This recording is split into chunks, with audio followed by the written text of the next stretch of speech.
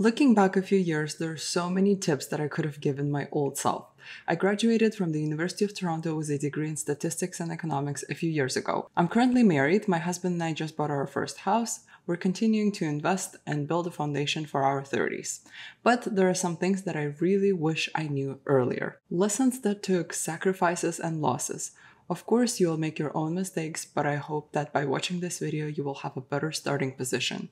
These are also the things that I tell my younger siblings who are currently in university, so let my big sister voice reach your ears too. Practical tip number one learn how to budget and invest. If you haven't learned how to budget yet, this is the right time to do it. Overall, this might be arguably the most important skill that you need to learn.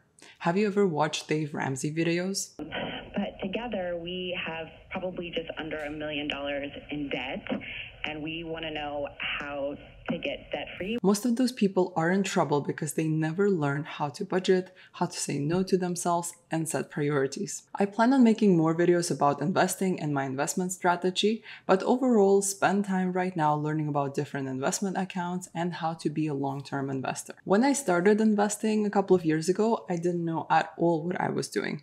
After my superficial research, I bought stocks and companies that somebody recommended or some website said that they had a nice balance sheet without understanding anything. And that's how I lost over $2,000 in my first year. This is definitely something that you can avoid. Be smarter and look at a bigger picture. Practical tip number two learn how to sell.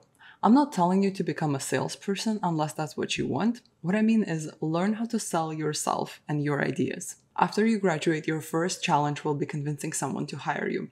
You, someone who just stepped in into the adult world, probably has very little work experience in their field and might have never been on a payroll before.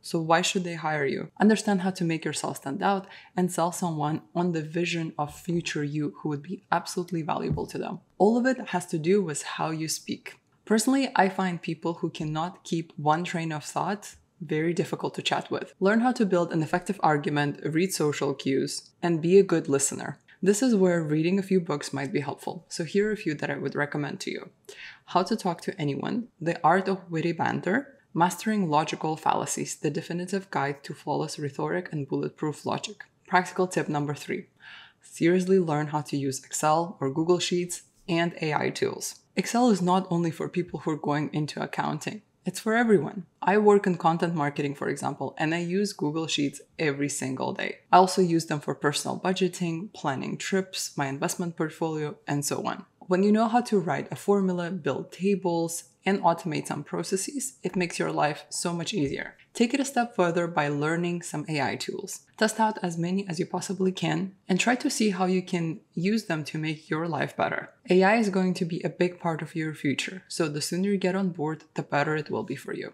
Now let's move on to mindset advice. These practical tips will allow you to achieve at least an average lifestyle.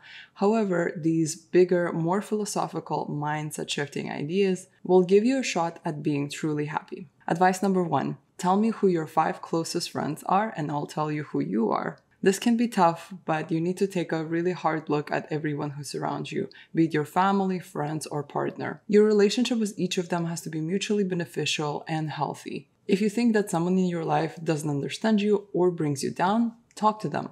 Have an adult conversation. If you took my second practical tip into account, you should be able to speak and argue your point freely and effectively get a response. I had to clean my personal friend group quite harshly in the past few years. With some of them, I knew that the relationship was one sided. If I didn't invite them to hang out, we would never hang out. The other person was seeing more benefit from the relationship, whereas I didn't see anything positive from it. On the other hand, there were some friendship that just faded away because we had less and less in common. Life moves on, people change, and you should be able to let go. Overall, people who surround you have a huge effect on who you are, both financially and mentally. Make sure they give you positivity, love, care, and mutual support. Advice number two realize that opportunities are not waiting for you. You have to create them yourself. When I was little, I loved watching America's Next Top Model. The 90s and 2000s models often told stories of how they were just scouted by an agent while they were shopping with their mom in the supermarket.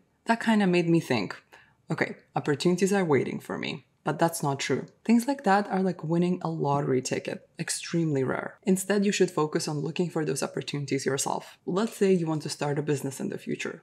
What are you doing to get to that goal? Are you learning everything that you possibly can about the industry? Are you trying to look for gaps? Are you actively talking to the right people, networking, and gaining experience? I still have to remind myself of this advice every day. So switch your mindset and move towards action instead of anticipation. Advice number three definitely an obvious one, but prioritize building healthy habits.